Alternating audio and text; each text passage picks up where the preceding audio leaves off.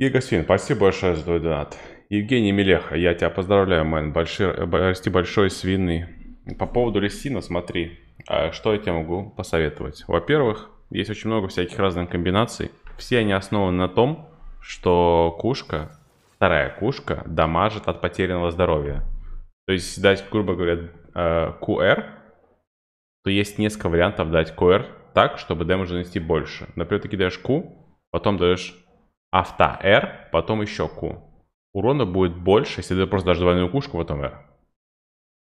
И получается так, что тебе очень важно понимать, что твой идеальный прокат всегда будет выглядеть так, что ты кидаешь первый Q, потом, допустим, авто, E авто, R, вторая Q.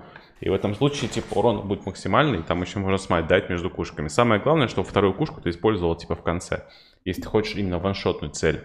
Вот. Также очень много фишек всяких, там, условно говоря, там, есть